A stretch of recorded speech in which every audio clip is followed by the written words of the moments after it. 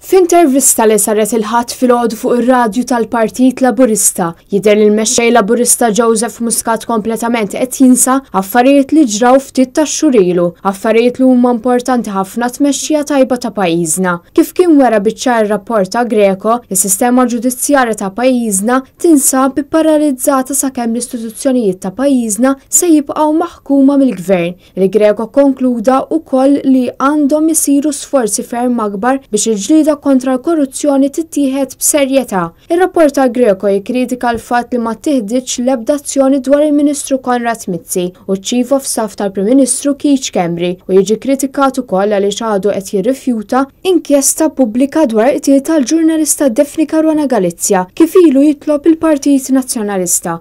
Madanakollu Muscat qed jibqa' jinsisti li l-Unjoni Ewropea hi favur kif qed jitmexxa pajjiżna mill-Gvern Laburista.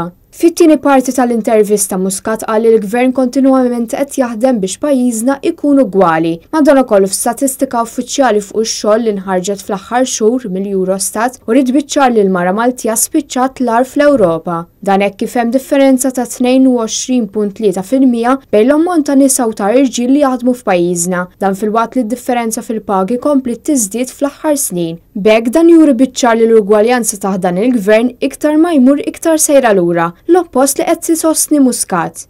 Min-naħa l-oħra l-Partit Nazzjonalista kontinwament qed jaħdem favur din il-kwistjoni, iżda ftit li xejn qed jingħata widen, dan hekk kif fl-aħħar xhur il-Membri Parlamentari Ewropew ħadmu favur din il-kwistjoni, filwaqt li kien hemm ukoll manifest elettorali tal-Partit Nazzjonalista b'ħidma sħiħa favur l-ugwaljanza tal-mara fis-soċjetà Maltija. Dan filwaqt li Muscat iddeċieda li kompletament jinjora protesta taħraq li saret fl-istess ħin tal-intervista, liema protesta uriet li mijiet ta' persuni mhumiex kuntenti bit-tmexxija u d-deċiżjonijiet b'nuqqas ta' ħsieb li qed jittieħdu mill-Gvern Laburista.